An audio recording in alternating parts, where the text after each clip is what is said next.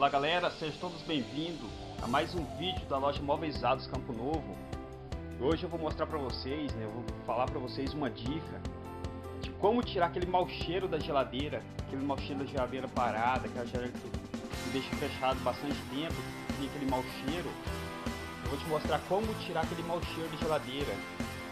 Então nós temos aqui, ó, uma geladeira e aqui na loja, como ela fica muito tempo fechada, às vezes fica dois meses, três meses fechada. E para não criar aquele mau cheiro, a gente utiliza um pedaço de, de carvão. Não tem aquele carvão, aquele, aquele carvão que tu usa no, no churrasco nos finais de semana.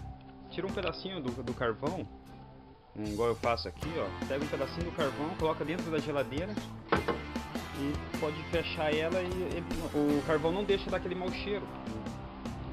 E é isso, isso que eu queria deixar pra vocês, galera. Que eu queria ensinar pra vocês hoje nesse vídeo.